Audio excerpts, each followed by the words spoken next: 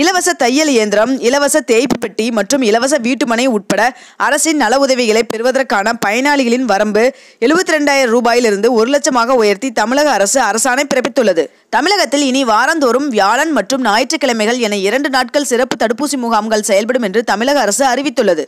தமிழகத்தில் பொங்கலை சிறப்பாக கொண்டாட ரேஷன் அட்டைதாரர்களுக்கு மேற்கண்ட இந்த இருபது பொருட்கள் அடங்கிய தொகுப்பு வழங்கப்படும் என்று முதலமைச்சர் மு ஸ்டாலின் அவர்கள் அறிவித்துள்ளார். முதலமைச்சர் மு ஸ்டாலின் அவர்களின் தலைமையில் நவம்பர் பத்தொன்பதாம் தேதி தமிழ்நாடு அமைச்சரவை கூட்டம் நடைபெறும் என்று தெரிவிக்கப்பட்டுள்ளது. புதுச்சேரியில் வறுமை கோட்டிற்கு கீழ் உள்ள அனைத்து குடும்பங்களுக்கும் வெள்ள நிவாரணமாக ஐயாயிரம் வழங்கப்படும் என்று புதுச்சேரி முதலமைச்சர் ரங்கசாமி அவர்கள் தெரிவித்துள்ளார். சீரற்ற பருவநிலை காரணமாக வருகின்ற முப்பதாம் தேதி வரை நீலகிரி மலை ரயில் சேவை ரத்து செய்யப்படுவதாக ரயில்வே நிர்வாகம் அறிவித்துள்ளது. தமிழகத்தில் மழை வெள்ளத்தால் பாதிக்கப்பட்ட பயிர்களின் ஹெக்டேர் ஒன்றிற்கு இருபதாயிரம் ரூபாய் நிவாரணம் வழங்கப்படும் என்று முதலமைச்சர் மு ஸ்டாலின் அவர்கள் அறிவித்துள்ளார். மேலும் தமிழகத்தில் மழை வெள்ளத்தால் ஏற்பட்ட சேதங்களை சீரமைக்க முன்னூறு கோடி ரூபாய் நிதி ஒதுக்கீடு செய்யப்பட்டுள்ளது.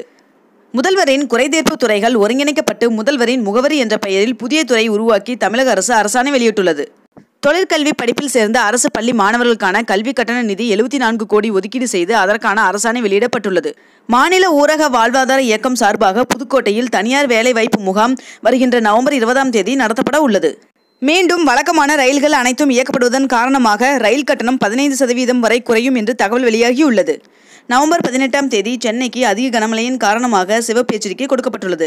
மேலும் இன்றும் நாளையும் திருவள்ளூர் சென்னை காஞ்சிபுரம் செங்கல்பட்டு ராணிப்பேட்டை வேலூர் விழுப்புரம் திருவண்ணாமலை கள்ளக்குறிச்சி கடலூர் டெல்டா மாவட்டங்கள் மற்றும் புதுவை காரைக்கால் பகுதிகளில் ஒரு சில இடங்களில் இடிமின்னலுடன் கூடிய கனமழை பெய்ய வாய்ப்புள்ளதாக வானிலை மையம் தெரிவித்துள்ளது.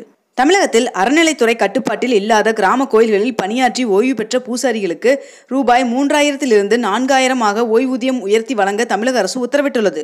தமிழகத்தில் உள்ள அனைத்து வகை கல்லூரிகளிலும் செமஸ்டர் தேர்வுகள் இனிமேல் நேரடியாக மட்டுமே நடைபெறும் என்று உயர்கல்வித்துறை தெரிவித்துள்ளது.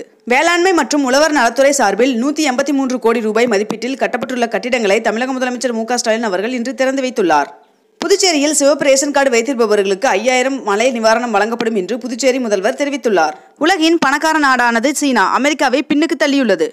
பெட்ரோல் டீசல் மீதான கலால் வரி குறைப்பால் ஏற்படும் இழப்புகளை மத்திய அரசே ஏற்கும் என்றும் அனைத்து மாநிலங்களுக்கும் வருகின்ற இருபத்தி ரெண்டாம் தேதி தொண்ணூற்றி ஐயாயிரம் கோடி ரூபாய் வரித்தொகையை பகிர்ந்தளிக்கப்படும் என்றும் மத்திய அமைச்சர் நிர்மலா சீதாராமன் அவர்கள் தெரிவித்துள்ளார். இருபத்தி ரெண்டு கேரட் ஆபண தங்கத்தின் விலை ஒரு சவரன் முப்பத்தி ஏழாயிரம் ரூபாய்க்கு விற்பனையாகிறது. அதேபோல் ஒரு கிராம் வெள்ளியின் விலை எழுபத்தி ஒரு ரூபாய்க்கும் விற்பனை செய்யப்பட்டு வருகிறது.